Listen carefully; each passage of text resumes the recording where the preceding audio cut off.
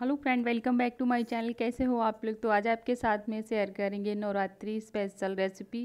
तो चलिए फिर रेसिपी शेयर करते हैं। सबसे पहले तो हम चटनी बना लेते हैं। तो चटनी बनाने के लिए हमने यहाँ पर एक मुट्ठी के लगभग धनिया ली हुई है, हरी धनिया, और दो हमने हरी मिर्च ली हुई हैं। एक टुकड़ा हमने जो है अदरक का लिया हुआ है, और जो व्रत में नमक खाया जाता है वो हमने जो है थोड़ा सा डाल लिया है। तो यहाँ पर जो हमने चटनी बना ली थी तो उसके बाद में यहाँ पर हमने जो है बाउल एक ले लिया। उसमें हमने एक कप के लगभग हमने सिंगाड़े का आटा ले लिया। है इसमें एक से डेढ़ जो है हम आलू डालेंगे।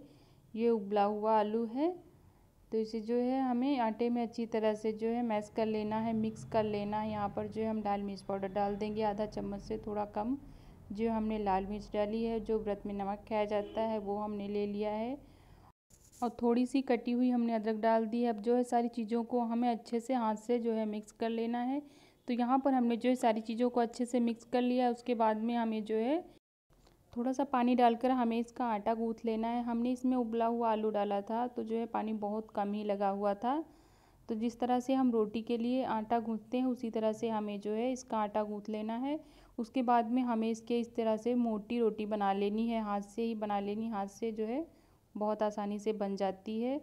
तो यहाँ पर जो है हमने इसको इसकी रोटी बना ली है, उसके बाद में इसे हमें कट कर लेना, इस तरह से लंबा कट कर लेना है। तो ये ना थोड़ा सा जो है चिपकने लगती है। तो आप जो है जिस चीज़ से काटिए चाकू से तो उसमें ना थोड़ा सा घी लगा लीजिए या जो भी आप व्रत में खाते हो, ऑयल वो लगा लीजिए। तो यहाँ पर जो है हमने इसको कट कर लिया, इस तरह से हमें इसको जो है कट कर लेना है। तो यहाँ पर हमने कट कर लिया अब दूसरी प्लेट में रख लेते हैं, उसके बाद में हमें इसको जो है फ्राई कर लेना है।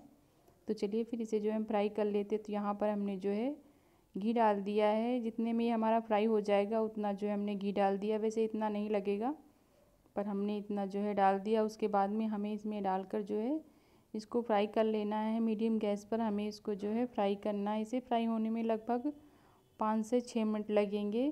तो यहाँ पर जो है अच्छे से हमने इसको फ्राई कर दिया है और जो है इसको हमने पलट भी दिया था दोनों साइड। तो अच्छे से ये जो है फ्राई हो चुका है तो इसको जो है हम अब निकाल लेते हैं। आप इसको फिंगर चिप्स भी कह सकते हो क्योंकि उसी उसी की तरह ये लगता है।